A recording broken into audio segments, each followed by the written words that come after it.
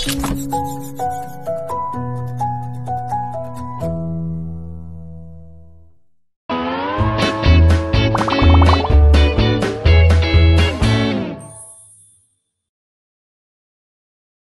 there, great to see you again. In the last video, I talked about how we are socially conditioned by teachers, parents, mentors, by media, etc., to seek superiority.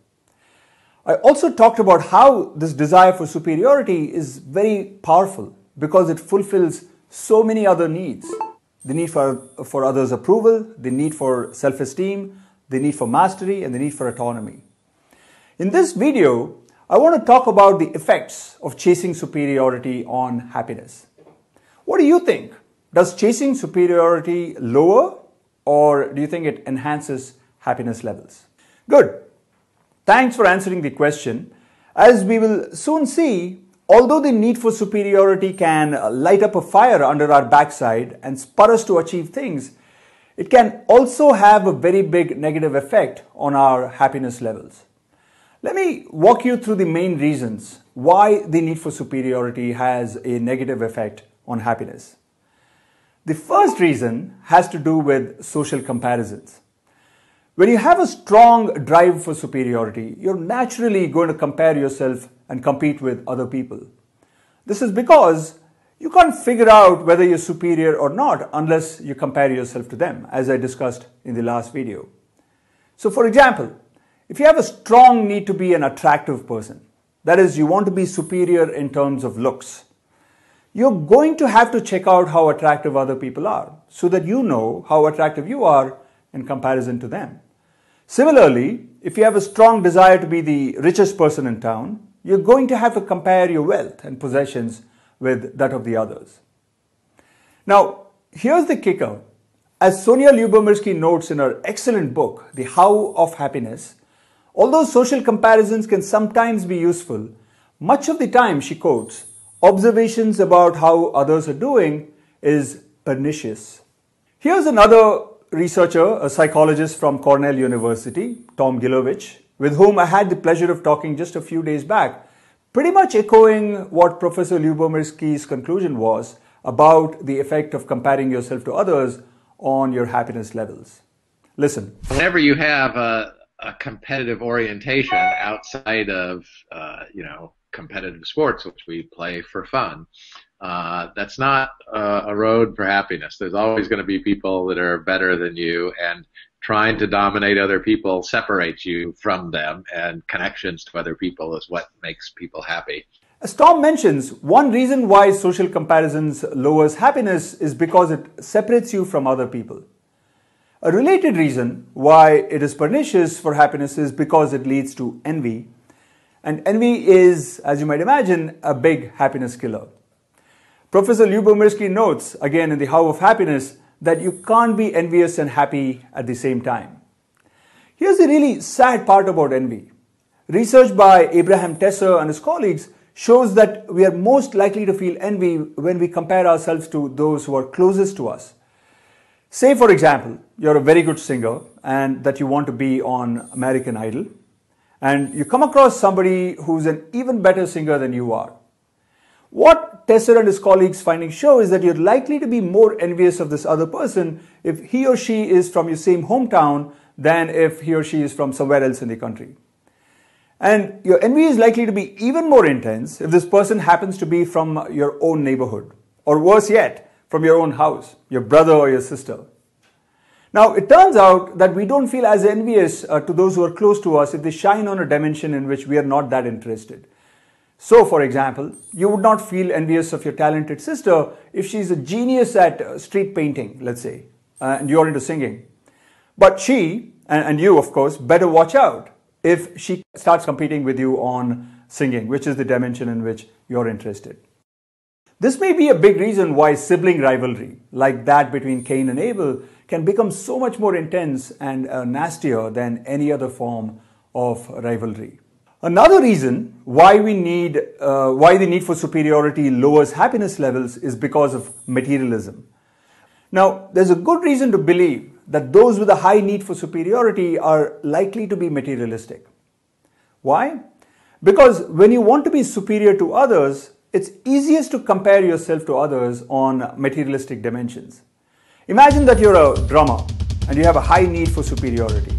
You want to be the best drummer in the world. How would you find out if you're the best drummer? It's difficult to find this out because there are so many ways to assess drumming prowess. You could look at the speed of drumming, or you could look at how uh, technically expert you are in drumming. Or you could look at the breadth of genres of music you could drum to, from jazz, rock, film music.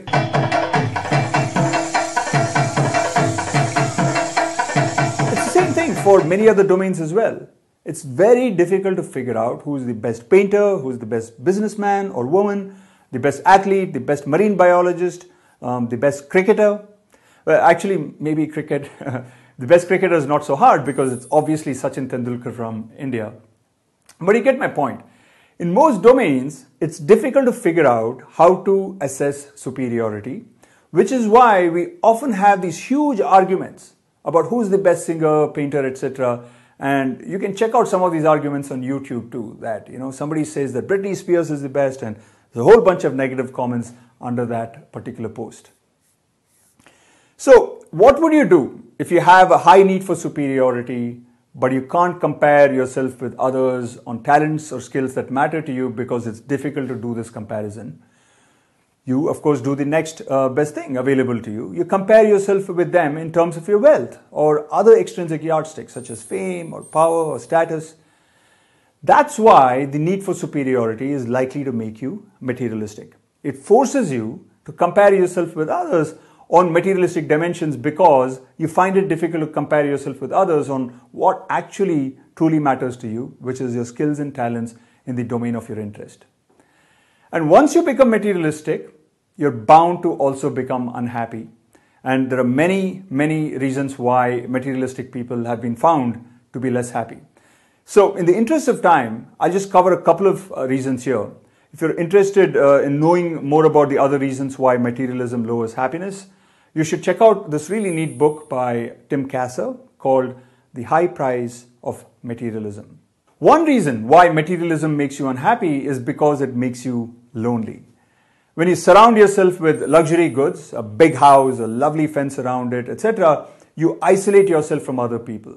And it turns out that being isolated from others makes you unhappy. Another reason is because of adaptation. When we move into a bigger house or buy a fancier car, we feel happy, but this happiness doesn't last that long.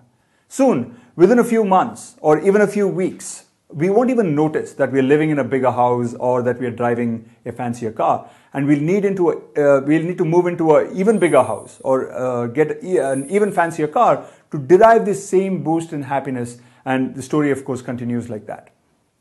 Here's a really funny uh, video clip of uh, a stand-up comedian called Louis C.K. who uh, you might have heard of where he talks about how quickly we adapt to things Listen. I was on an airplane and there was internet, high speed internet on the airplane. That's Yes. the newest thing that I know exists. And I'm sitting on the plane and they go, open up your laptop, you can go on the internet. And it's fast and I'm watching YouTube clips. It's, I'm in an airplane. And then it breaks down. And they apologize, the internet's not working. The guy next to me goes, this is bull.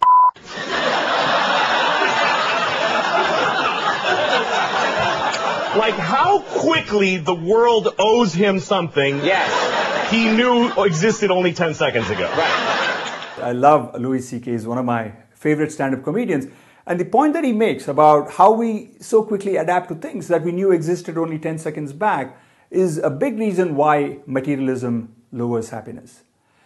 So we've talked about how uh, why the need for superiority lowers happiness. We talked about two reasons: social comparisons and materialism.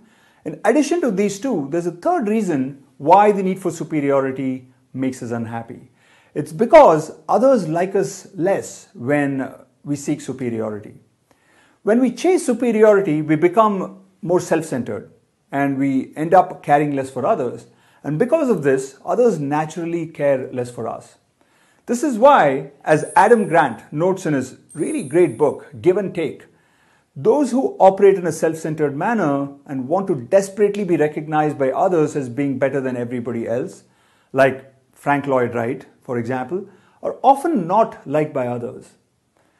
So, in all, there are at least three powerful reasons why chasing superiority lowers happiness levels um, social comparisons, which lowers happiness, you become materialistic, which lowers happiness, and you also end up being disliked by others, which also lowers happiness. So, if you want to be happy, it seems that you're better off getting rid of the need for superiority. It's better not to want to be superior to everybody else. Better not, uh, not to want to be the richest, fastest, strongest, prettiest, etc. But how can you get rid of the need for superiority? Also, and this may be a question that is bothering you right now, particularly if you are from, let's say, an MBA school. What would happen to your chances of success if you got rid of the need for superiority? Those are the topics that I will be covering in the next few videos. Adios, my friend, and see you soon.